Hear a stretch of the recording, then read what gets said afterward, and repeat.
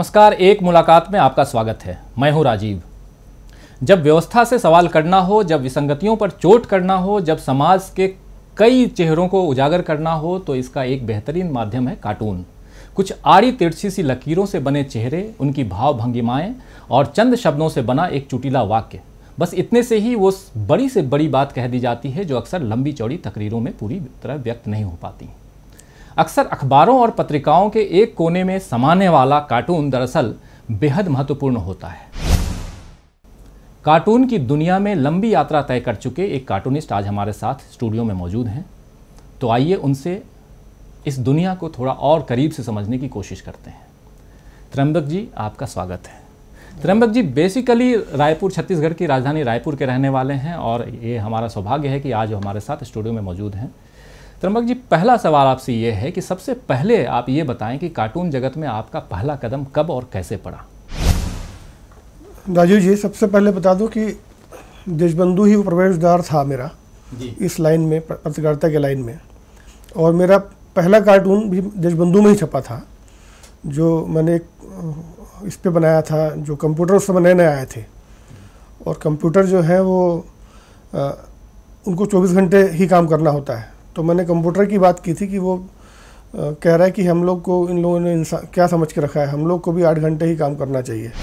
तो इस तरीके से मैंने एक मेरे अंदर ह्यूमर था तो जो पहला मैंने कार्टून बनाया वो देशबंधु में बनाया था। त्रंबक जी मैं आगे बढ़ना चाहूँगा। आपसे ये जानने की कोशिश करूँगा कि कार्टून की दुनिया में आपका प्रवेश कैसे हुआ और आपके प्रेरणा स्रोत कौन रहे? देखिए क्या था कि मेरे अंदर या तो मेरे हमारे परिवार में ही ऐसा कुछ था कि हम सीधे मुँह बात नहीं करते थे।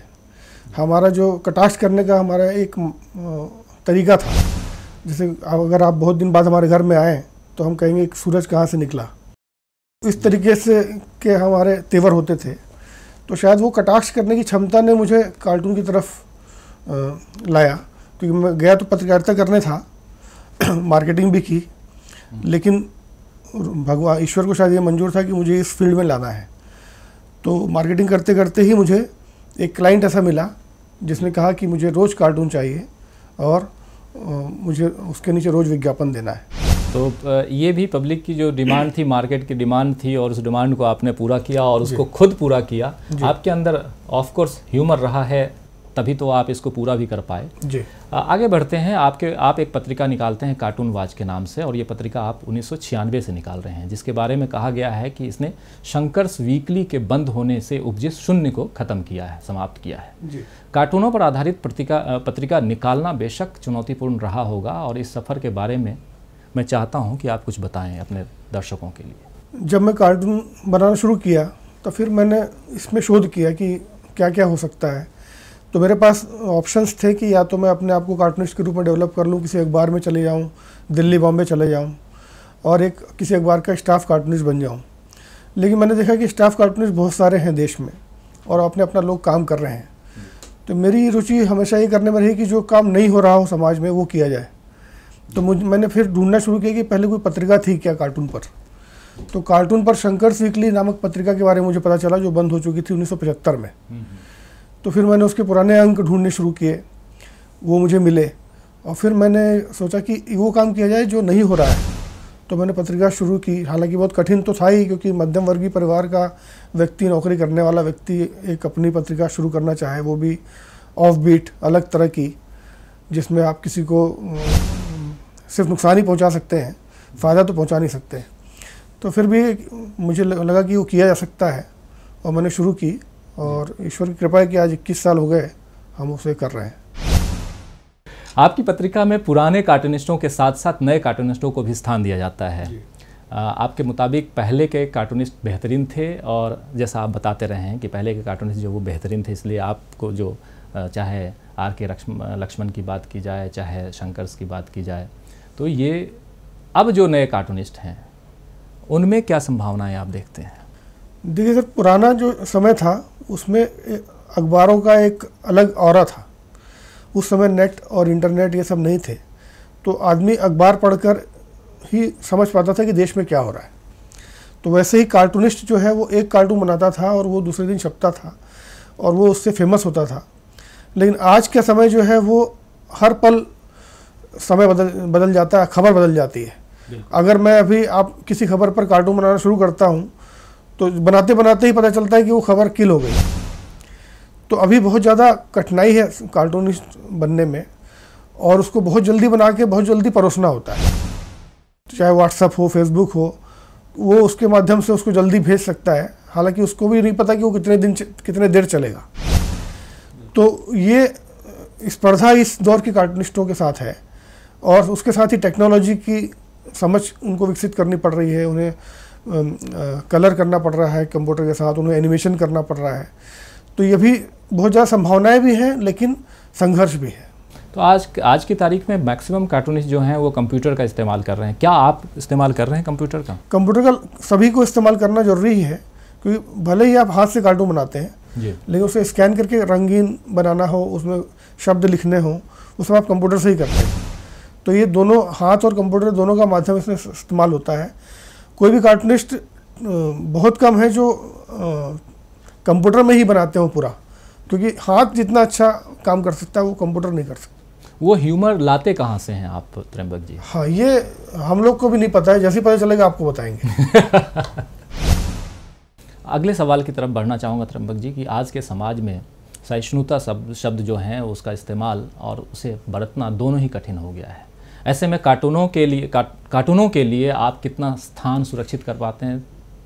क्योंकि इन्हें समझने और सहने के लिए अलग ही मिजाज की ज़रूरत होती है। आजकल सहिष्णुता शब्द से ज़्यादा तो असहिष्णुता चल रहा है हमारे देश में। और वो कार्टूनिस्टों के कारण नहीं चल रहा है वो राजनीति के कारण चल रहा है। लेकिन सही बात तो यह है कि असहिष्णुता और सहिष्णुता जो शब्द हैं वो अभी ज़्यादा चल रहे हैं। पहले तो लोग इसे समझते नहीं थे और सहिष्णु रहते थे। जैसे कि नेहरू जी के समय में शंकर पिल्ले कार्टूनिस्ट थे जो दिल्ली के जिन्होंने शंकर सिकली निकाली थी। उनको नेहरू जी ने स्वयं कहा था कि डोंट स्पेयर मी शंकर. बिल्कुल। मैं उस सवाल पे हाँ। आ, मैंने सोच भी रखा था हाँ, कि वो सवाल आपसे पूछूँगा। हाँ, लेकिन चूँकि आपने अभी अपना जवाब के तहत ही वो सब वो सहिष्णुता से रिलेटेड ही है। क्योंकि उस समय के राजनेता जो थे वो स्वयं पर हंसना जानते थे। अभी भी कुछ राजनेता हैं जैसे लालू यादव पटना में हैं वो अपने कार्टून उनकी प्रदर्शनी का उद्घाटन खुद करते हैं उनके ऊपर बनी हुई। तो ऐसे नेता बहुत कम हैं जो अपने ऊपर कटाक्ष सहन कर पाते हैं। नहीं सही है और ऐसी चीज़ों से बचने की कोशिश राजनेता भी करते हैं आज की तारीख में। अगली सवाल की ओर आऊँगा क्योंकि पिछले दिनों शार्ली आबदो पर कार्टून बनाने के कारण ही आतंकी हमला तक हो गया था। ये भी सहिष्णुता और सहनशीलता की बात मैं कर रहा हूँ। क्या यह असहनशीलता का वैश्विक संकट नहीं है? निशार्ली अब्दो वाला जो मसला है वो हम उसको दूसरी नज़र से देखना चाहते हैं। क्या कि कार्टूनिस्ट जो है वो बहुत पवित्र व्यक्ति होता है। वो सत्य सत्य कहता है। लेकिन यदि आप किसी चीज़ को लेकर एक्टिविस्ट हो जाए अगर आप किसी एक उसकी जो सीमा है उसको लांघेंगे। चाहे किसी भी चीज़ में हो अगर आप पत्रकारिता में सीमा लांघेंगे अगर आप सामान्य जीवन में सीमा लांघेंगे तो आपके ऊपर हमला होगा ही। तो वो शार्ली अब्दो में जो उन लोग उन कार्टूनिस्टों ने जो काम किया था वो उन्होंने किसी को चिढ़ाने के लिए किया था। और लगातार वो उनको चिढ़ाना चाह रहे थे तो उसकी वो प्रतिक्रिया थी। तो मैं उसको कार्टूनिस्ट के तौर पे बहुत ज़्यादा वो नहीं मानता हूँ क्योंकि वो एक्टिविस्ट के तौर पे या एक जिद के तौर पे उस काम को कर रहे थे। एक कार्टूनिस्ट जो होता है वो बैलेंस्ड होता है। त्र्यंबक जी अगला सवाल मैं आपसे ये जानना चाहूँगा कि किस राजनेता पर कार्टून बनाना आसान है और किस पर सबसे ज़्यादा चुनौतीपूर्ण है? देखिए कार्टूनिस्ट जो होता है वो आपके चेहरे की विशेषता को पकड़ता है। जी। और पहले के दौर में जब पुराने कार्टूनिस्टों के समय में लोग लोगों की अलग अलग वेशभूषा होती थी आजकल तो वेशभूषा भी लोगों की इतनी सामान्य हो गई कि पता नहीं चलता कि वो नेता है कि आदमी है। बिल्कुल। नेता ही कि आदमी है। अच्छा। तो ये भी आपका ह्यूमर है। तो वो उस समय अलग अलग दाढ़ी होती थी। हालाँकि अच्छा है कि आज हमारे प्रधानमंत्री लेकिन एक ड्रेस तो है जो आप आ, कोटी पहनते हैं कुर्ता पैजामा पहनते हैं कुर्ता तो नेताओं का तो वो, वो सांकेतिक हो गया। लेकिन वो वो भी आजकल पहनते दिखते नहीं है। पहले हम लोग टोपी बनाते थे नेताओं की। तो पुराने कार्टून में जितने भी आप देखेंगे पार्टी नेता है तो टोपी है। टोपी है लेकिन आजकल हम्म। टोपी गायब है। तो उसी तरह के से आज जो प्रधानमंत्री नरेंद्र मोदी हैं उनकी दाढ़ी के कारण उनको बनाना आसान है और उनका चेहरा कैरिकेचर के लायक है।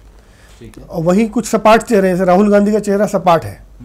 लेकिन राहुल गांधी भी तो बीच बीच में दाढ़ी रखते हैं। नहीं तो वो उसलिए वो उनको परमानेंट नहीं है ना वो। तो उससे क्या है कि बनाना कठिन हो जाता है। क्योंकि एक तो उनका चेहरा नाक भी उनकी छोटी है। हालाँकि राहुल गांधी जो राजीव गांधी की जी की नाक लंबी थी तो कार्टूनिस्ट उनको उनकी नाक को लंबी करके उनका बना लेते थे आसानी से। तो राहुल गांधी का कार्टून बनाने में भी कठिन है और करियर बनाने में भी कठिन है। और कोई ऐसे नेता?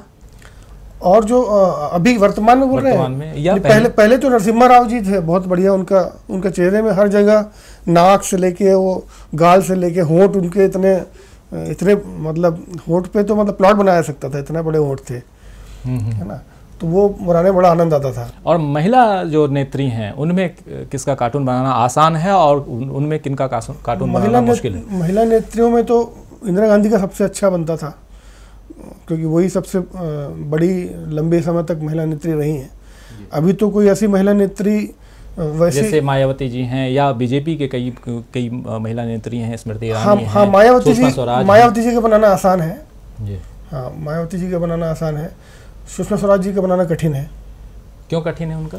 क्योंकि उनकी कोई एक एक उनकी हाइट कम है सिर्फ़। वो एक चीज़ है बाकी सब संतुलित है उनका चेहरा खूबसूरत है वो। तो खूबसूरत लोगों का बनाना थोड़ा सा मुश्किल होता है या फिर उनकी नाक लंबी हो या बाल कुछ अलग तरह का हो। जैसे इंदिरा इंदिरा गांधी जी का की नाक लंबी थी और उनके बाल एक अलग तरह के थे जिसमें हल्का सा वाइट होता था सामने एक स्टाइल था। तो जिसका स्टाइल होता है कुछ तो उसको बनाना आसान होता है। जैसे गांधी जी का अगर हम बना दें तो सिर्फ़ गांधी जी का जो एक- चश्मा है वो बनाते एक हैं। चश्मा और एक गोल टकला बना दें हाँ। तो लगेगा गांधी जी हैं। जबकि हालाँकि वो हर व्यक्ति जो टकला है वो वैसे ही लगेगा। लेकिन चूँकि गांधी जी अपने हमारे दिमाग में बस चुके हैं इसलिए हम उसको हाँ, गांधी जी को वो जो उनका चश्मा कर लेते हैं, हाँ। कोरिलेट कर हाँ, हालाँकि वो कोई भी बुज़ुर्ग आदमी वैसे ही लगेगा। तो बहुत सारी जानकारी कि किस प्रकार चश्मा किस प्रकार कार्टून बनाते हैं और कई सारे राजनेताओं के बारे में हम लोगों ने आपसे जानकारी प्राप्त की। त्र्यंबक जी अगले सवाल की ओर बढ़ते हैं और अगला सवाल ये है कि प्रिंट मीडिया का कार्टून नए मीडिया में नए अवतारों के साथ प्रकट हो रहा है। नया मीडिया मतलब डिजिटल मीडिया जो है उसमें। तो विभिन्न चैनलों में कार्टूनों के लिए स्थान बनाया जा रहा है। आपको क्या लगता है कि इससे कार्टून की जो विधा है वो सशक्त होगी? बिल्कुल। ये तो सशक्त होना ही है। मतलब शुरू में हमें प्रश्न किया था जब मैं लंदन गया था तो वहाँ बीबीसी में जब इंटरव्यू हुआ था तो उन्होंने प्रश्न किया था कि क्या विधा खत्म हो जाएगी? तो मैंने कहा था कि विधा खत्म नहीं हो सकती इसके रूप बदल जाएँगे। क्योंकि हम हर बार नए रूप में जाते हैं। आज व्हाट्सअप में हर आम आदमी कार्टूनिस्ट हो चुका है।